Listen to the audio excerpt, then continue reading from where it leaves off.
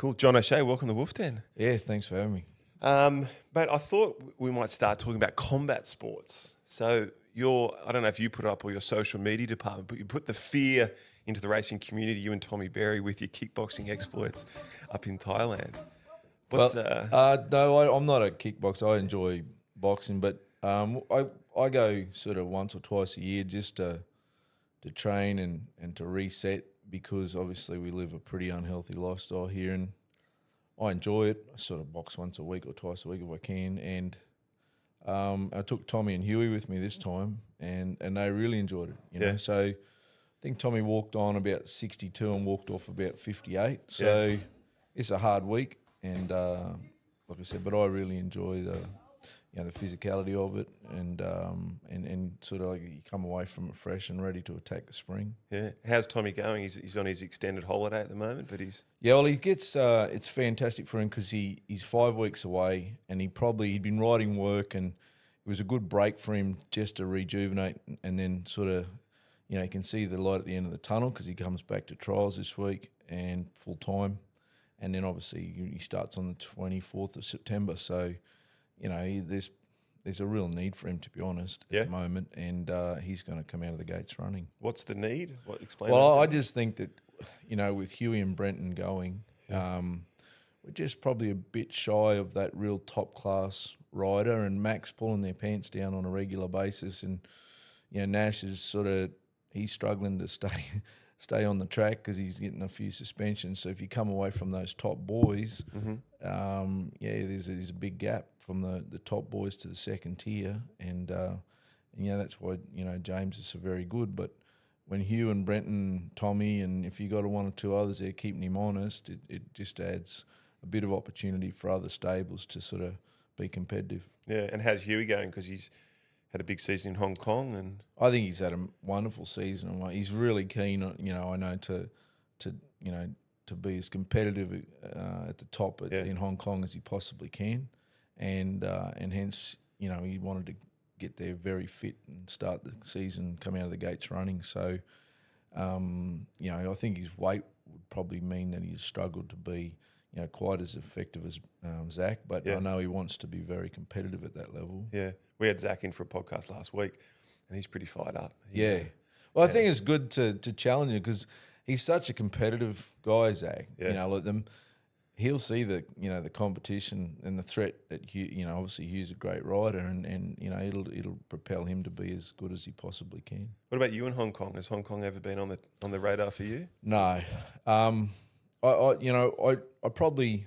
I've got four kids, mate, and they. And I think when you go to Hong Kong, you either got to go when they're very young, or they've left home, and and ours are spread out over a long time. And I, you know, I remember when Darren went and left young Mitch. I think he was only sort of seventeen or eighteen, and and that was sort of a challenging time for their family. And um, and I've sort of I thought that you know we've got you know still got teenagers, so it just does. It's just never suited, you know. And I don't know whether you know, I I prefer to train horses over a little bit of ground, and probably Hong Kong's, you know, not for me. So, Yeah. um, yeah, I mean, I, you know, it suits some, but it probably not. You know, it's never. Have they ever approached you about no, it? I Yeah. I had a discussion with them like very early in my career, and I didn't go because I, I wasn't ready, and and my children were young then, but I, it you know then things change. Yeah. So with your career, you started up in Cairns, and uh, I liked one quote where you said that a big part of those early training days was getting horses ready, having a bet, and getting some money in to, keep going to the next week. Is that is that how it was? Well, you have to start. You know, we start with absolutely nothing. Well, we started in the negatives actually because we had to borrow money to Yeah. start. You know, so um, yeah, like I, I probably started sort of semi you know, assistant to Gary Moore, and uh, when I come to Sydney after working for Gai and Bart, and and um, I wanted to go training, but it, you know, obviously had no money, so we got a thing called Getty ready on Anzac Day, one day at Randwick, um, and you know it won and you know cost me the job. And and but I was able to go training, you know, sort of two or three months after that, you know, so and yeah, I suppose that's sort of when you have nothing, you sort of you do whatever you can to to get started and, and get a quid and and so betting and you know I, I sort of come through a betting background. My father was a bookmaker and um, it was always something that we knew I knew about, and I had great mates in the you know in the betting ring in Sydney, and Stewie Davis and Peter Longworth, and Yeah.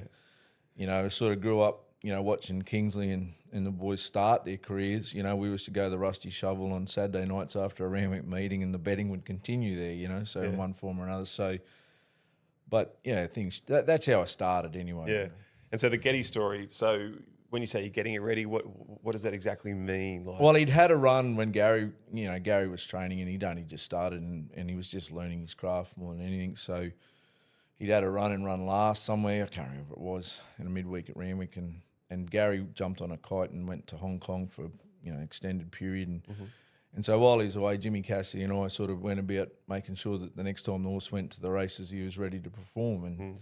And so they're about 80 to 1 and um, I think he beat about $16 on the day. So, um, yeah, was- I mean, you couldn't get much on on a Sunday. On a you know, it was an off day, Anzac Day at Randwick, but you know, you could go along and four thousand to fifty along the on the ring, Yeah. and it was enough to, like I said, get started in a couple of weeks later, um, a couple of months later. and why did it cost you the, the job? Well, Gaz, there was, Because you got left out. well, or- you know, we actually told him, you know, that, you know, Gaz, we think this can run well today. Oh, no, Yeah. he said, good, no, wait, blah, blah, blah. And so, um, anyway, when it won, he sort of, Mr. Murray had an inquiry, obviously, you know, and he said, oh, you're no good asking me, you have to ask my foreman. So I had to go to an inquiry, and all it was a bit embarrassing, but, um, you know, that's how, and then, you know, he knew I wanted to go training, so he said, oh, it's probably time you move on, you know. Yeah, fair enough. And did Stewie and the boys were they in on it too? Did they? custody, uh, Peter Long, he, he, you know, they sort of obviously used to feel there, and they all had a little bit of it. You know, I think, Nobby'd probably still have the money you made, right?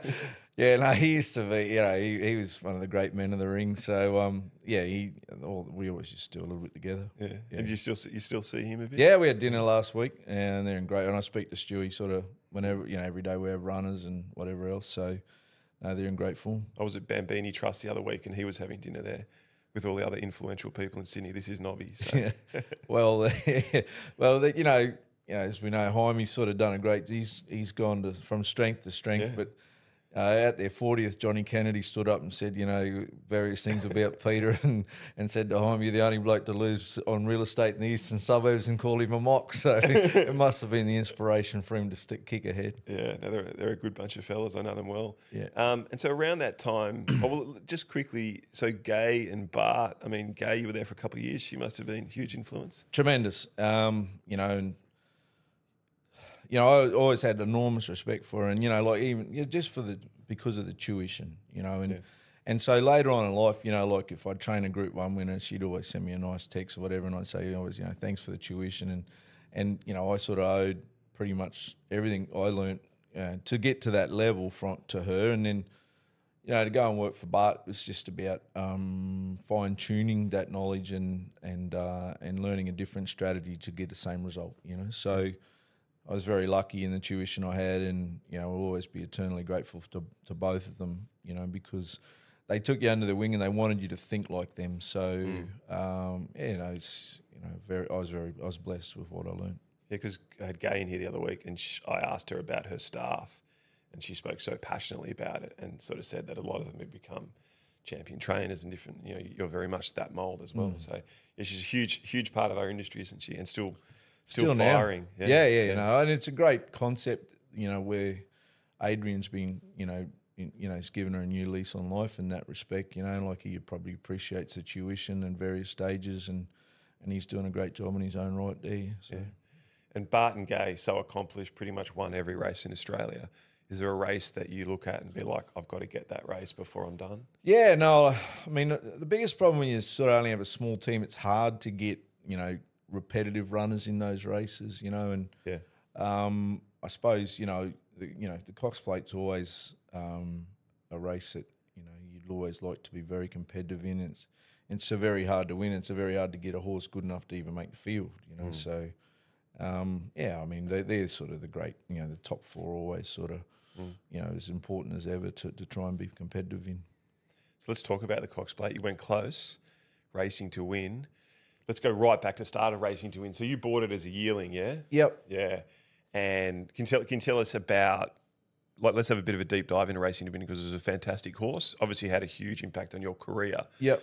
and it's it's just a great story. It's a great story. We bought him, you know, for forty grand, and we thought we'd made a mistake when we bought him. Where we missed a, something. There must have been an X-ray issue, but it was just because they'd put him in the ring unreserved, and you know, there's one thing they'd done. We owned him Was he Encosta de Lago? Encosta de Lago. Yeah, Yeah, And, and Costa was hot at the time, right? It was Well, yeah. Well, so we went there and had a bunch of Encostas on our on our list, and I can remember um, we had a filly and a colt, and the filly made four hundred, and I didn't think the colt was that much worse, and so I thought I'd make two to three hundred, and he made forty. So. And it turned out to be racing to win. Um, he was a great horse to me at that stage. You know, he won sort of five Group Ones and about four or five million dollars, and um, you know, like he's a dream horse. You know, you probably wish that you had him uh, a little bit later on in life when you knew a lot more about you know what you were doing. Um, you know, probably made a few blues later on in his career, um, but and you know when I reflect back at his Cox Plate, you know he. he I went. I followed the Sunline path in, into the Cox Plate, and so he was a mile and she was a miler. And um, but I think when I reflect back on why he didn't perform in the Cox Plate, he he had to beat up on Desert War within se- twice within seven days, and at the time it didn't look like it was draining. But when you reflect back on what a champion Desert War was, and how hard he was to beat, it probably took more out of him than you know I thought. So um, there's little things you learn as you, you know, go through thing, uh, get a bit more experience, and and and probably nowadays too that you know they don't penalise them. Uh, they, they try to encourage those good horses to run in Randwick miles now, whereas you know after he won the Epsom and the Doncaster, they give him sixty one. You know, like so. Whereas now he'd probably get into that same race of fifty eight and a half and give him a chance to be competitive in him again. So it's, uh, but he is a great horse, and you know we'll always be ever grateful for everything he did for us. Mm. And did you have a crack back in the day of the yearling sales? Like, did you get yourself in, in I've never been. positions? No, I've never been one to to do that. Um, I've always sort of been very frugal with other piece, other people's money, and Yeah. and even now, you know, it's there's too much statistical data to say that the best horses in our country lob between 100 and 300. Yeah. You know, so I don't see the rationale behind you know doing that data and then going against what it tells you. Yeah. You know, so we sort of fish around that 50 to 250 mark, maybe 300 at a pinch. You know, so. Yeah. And is it a huge part of your business getting the right yearlings? Have you got to be in there and, and, and Oh, active? it's it, it can make or break the next five years of what you do. You know, so and obviously you get the right horse at the right price, and it can make your season or make your career and boost your career at various times. You know, so um, you know, like a horse for us like Lost and Running, we paid forty grand for him. He's won five million, and and my wife was lucky enough to own you know a small percentage of him as well. So you know, they're sort of horses that you know really help you and give you a mm. kick along. and how's he going? Well, we think he's going very well. You know, Mac trialled him last week and gave him a thumbs up. So, you know, he's a horse that, you know, last season he had nothing go right in terms of wet tracks and wide barriers. So we're hoping that we can get a bit of positive continuity to the preparation. He can get himself back in the game. Is he in the, in the Everest yet? Not yet. But you'd obviously be Oh, look, if he got an option, but there's so many other options. I mean, there's a race on the same day for two million, and you know the points still accrue for the sprinting series. So, yeah, I wouldn't. You know, if he made the field and we thought he could be competitive, we'd run him. But you know, there's like I say, there's a nice race on the same day for good money where he'd be a good quote in the market. You know. Yeah. So let's talk um, the Godolphin days or the Darley days. Big, big point in your career. Um, it's obviously sort of considered the best best job in the racing world. You know, training for them. My, my first question is, what was it like going into that world? Because there's a lot of affluence and wealth in racing, but when you when you're talking about Sheikh Mohammed and that, it's it's on a completely different level. So, what was it like, sort of gently going into that world? And, and, and when you were interviewing for it, like, did it get to the stage where you were like flown to Dubai and met with the Sheikh and all that? Yeah, kind I of did that. Yeah. Yeah. so I did a day trip. Um, they, I was actually on a plane going to um, New Zealand for a ready to run sale, you know, and they rang and said, "Oh, would you be interested in taking the job?" And so obviously didn't bid a lot on too much on uh, the ready to run horse. but came back and had a meeting with them, and then they flew me to Dubai for a day and uh, went round the car with Sheikh Mohammed. It was you know surreal. So Yeah. yeah, and came back and you know, to be fair, my wife wasn't overly keen about doing it, and um, she took a bit of convincing um, for various reasons, and you know, as it turns out, she's always right. So, um, and then started oh, in about May of the following next year, and yeah, I found it the transition extremely difficult, Yeah. you know, and so eventually we got a good team around us, and Darren Beadman was extremely helpful in that, and we're able to sort of get things rolling. And, and, and but it was never, you know, it once you've run your own business and you go to work for someone else, it's probably a, a really, you know, and at that stage of my life, sort of early forties or late mid forties, and you know, you sort of get a bit set in your ways, and you have an agenda where all you want to do is get the right result, you Yeah. know. So, Yes. but when you go to work for a big organisation, that's not necessarily what their agenda is. You know, their Mm. agenda is there's so many people that have to be placated underneath the boss, and Mm. if you had to just deal with him, well, life would be really easy. And that's where Charlie's probably lucky in that. You know, he gets to he rings the boss on. He direct. This is Charlie Appleby, Yeah, right? Who's so- he trains for them in Europe. Yeah, yeah. So he and he speaks to the boss on a daily. Well, I spoke to the boss once in my life. You know, the first day I took the job, Really? I never spoke to him ever Yeah, again. right. So, yeah. And so, you found that difficult, did you? well, I found the difficulty in the in the in the tiers of management. Yeah. Yeah. So, um, you know, the like I say that their agenda wasn't necessarily what you know. Like for example, say when, I mean, Hartnell, he wins a Turnbull, he beats Jameka by six, and he would have been a six to four favourite in the Caulfield Cup. And then someone comes in from Europe and says, "Oh no, it's, it's got to run in the Cox Plate against Winks because the, we've got another horse coming in from Europe." And you're looking at yourself, "You're doing what?" You know, like, so those sort of things are, you know, There's unilateral decisions that get Yeah. frustrating. Yeah. yeah. So, yeah, I think that ultimately I will be ever eternally grateful for the opportunity Yeah. because it made me a better trainer, a better, you know, better at everything. So, um, but ultimately I missed, I, I didn't enjoy the isolation as well. I missed my mates. I missed, you know, like being No- around. Nobby and No, yeah, and Stuart. that's right. So, and you know, and so ultimately, as I, you know, said, my wife, she's smart for a reason, and you know, I, I think that, I mean, like I said, I really enjoyed the three years, but I'm happy to be doing what I'm doing. yeah. Yeah. And during that time, you, you had Astern. Is that the best horse you've trained? Astern? Uh, Hartnell was the best horse we had Yeah. there. Yeah, I, Stern is a great horse, and but he was always had an issue. You know, he was always temperature here, and and that was his limiting factor. You know, like to for him going on to be a really top horse. You know, so um, I think he got a you know he, he won the Golden Rose. He had a temp after the Golden Rose. He won and come back in the autumn. Same thing. You know, like he's always sort of very fragile horse. You know, so probably never quite got to the level that he was capable of getting. Yeah. And then, so you, you decided to walk away after three years, and then you got a, an immense challenge to get yourself back to the level that you were at. And so, what, what, what was the process involved there? Like, what was your first, what were the first couple things you did when you decided you want to come back in your own right? Um, well, we had obviously we had James took the job, which worked out conveniently because we were able to get fifty boxes at Randwick. But the problem with that is that I probably needed a break, Yeah. you know, and I didn't do that because fifty boxes at Randwick only become available on very limited occasions. So it meant we had to go straight back to work. And um, yeah, I mean, that's that is the hardest thing I've ever done is start back. You know, Yeah. for you know five horses going to Hawkesbury on a Sunday, and you know, like in Class One, and- it's just Yeah. such a massive challenge. Yeah. you know, so um, and it was mentally draining. You know, so but once you get back to where you know you're having a full stable, decent horse going, decent Yeah. races, it's it's fine. And you had to get all the staff back. It's hard to get.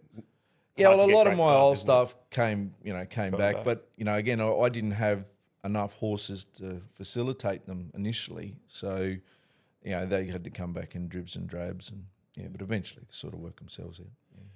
And you sort of had a reputation back in the young years as being really intense and really, really focused on on your craft. Are you? Do you think you take it? You got a more mellow approach these days, and do you have to be like that? Yeah, I, think that that comes from you know coming from nothing.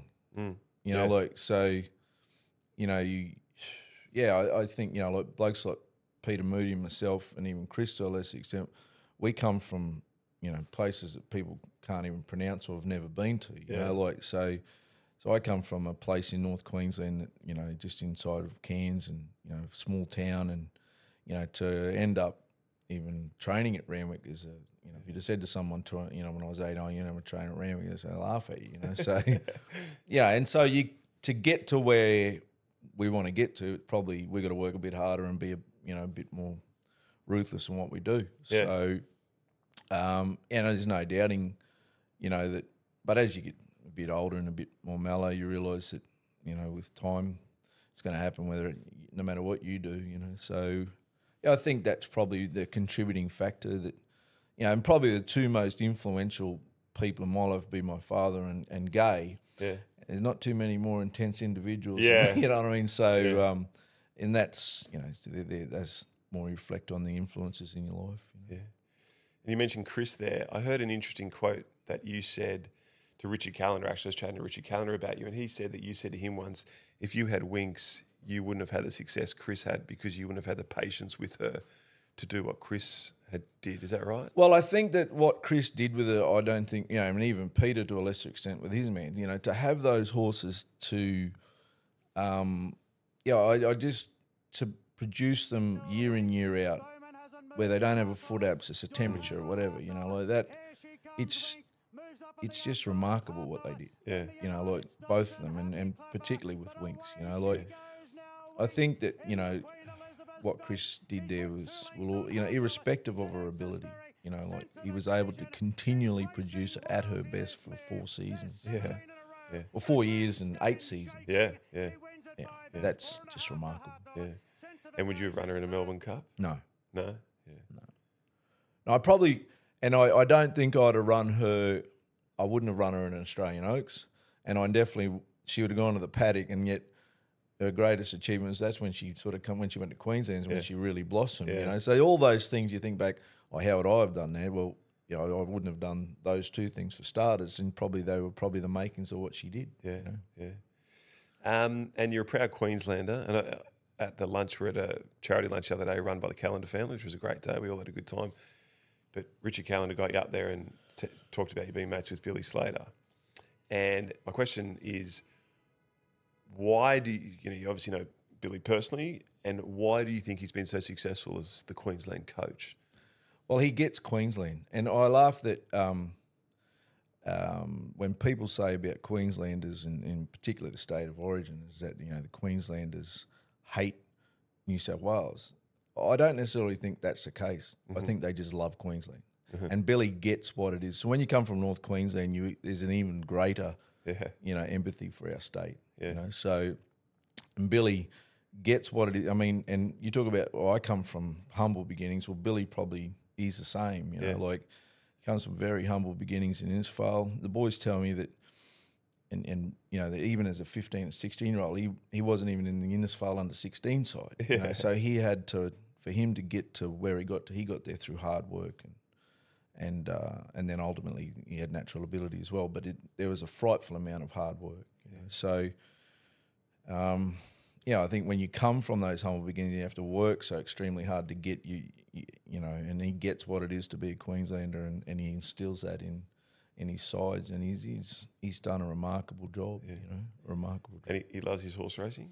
loves it. I mean, that's where he um he come down and rode a bit of work for Gai, and I was working for Bart at the time. And this little kid trotted past me. He said, "Oh, Dad," because I knew his father when we were playing football in North So you've known him that long. Wow. Yeah, you knew him when he was riding for Gai. and he said, "Oh, Dad said to say hello." And you know, there's this little kid from Innisfail sitting up on a horse trotting past the gays. I said, "Oh, g'day, mate." You know, so I can I can remember he's a little kid, but I, like I said I knew his father, and who was a good bit older than me, but you know, he was a you know great North Queensland footballer, and you'd, you'd see him at the rugby league there on a regular basis. So yeah, he was, um, and that you know, then he went on to you know play for Melbourne and whatever else. You know, Who's your NRL team? I'm a Cowboy supporter. Okay. Yeah.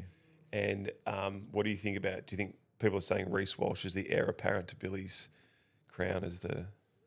Well, he's he's definitely that. I mean, he's probably even ahead of Billy at the same stage. Sure. You know, he's only 20, Yeah. 21 or whatever he is. Yeah. He's probably achieved more than Billy. And Billy was only playing for Queensland on the wing, and he's doing a good job for Melbourne. Reece Walsh has become an absolute superstar, and the fact they're only paying him six hundred thousand a year is probably, Yeah. you know, they're in for a frightful challenge when they try to, you know, renegotiate his deal. Who's going to win the comp? Well, they can win it. Brisbane. Yeah. So Is that is that your tip? Or I would definitely, yeah, I So think they'll win it. if yeah. you had to bet, you'd back Brisbane. Mm. Okay, not Penrith. Well, Penrith, uh, Penrith, there's no doubting of this, but I, I think Brisbane will beat them. How do horse trainers go at tipping rugby league teams? Not that well. I, I mean, the, probably the we the, I, the the best bet I had uh, for a while was the, the year Happy Clapper won the Epsom and, and Melbourne won the grand final. I think we got twelve to one the double, and and that's probably the last time I've had any sort of decent bet on a football team. You know. Very good. And uh, you mentioned you're a very proud Queenslander. Do you head back there one day and No, no, no, no. Sydney's home forever? Sydney. Well, my kids all sort Yeah. of grew up here, and they, they they've got no ambition to ever move back there, and there's just nothing for them, you know. So, and particularly if you want to be involved in the racing industry, which I I will till I drop. Yeah. Um, So there's no, you're like gay. You'll keep going till you drop. Yep. You never no no plan to ever retire. Well, I love it. Yeah. So and and and I watched Bart, you know, at 84, sort of come to the track in the morning, and and you know, it stimulated him and gave him something to get out of bed for, and he was still he loved imparting that knowledge, and and I would think that. Not that I want to be doing it at 84, but I would think that I would want to be active, and, and I, I don't want to sit and be idle and, and vegetate and wait to die, basically. yeah. Any kids involved in your business? My son, uh, I got a second, uh, my second son, Jordan, who who's work as at university and, and he works for us at the moment. But you know, as to whether he probably prefers the punting side of things, Yeah. he's, he likes the cards with Stewie and when you know gambling and. But he's you know he's there and enjoys it. Excellent. Well, I think it's a, a good place to finish, mate. Beautiful. Thank you very much, mate. Great chat and um, much success over spring. Hope Let's knock hope it so. Good on you, mate. Thank you. Cheers.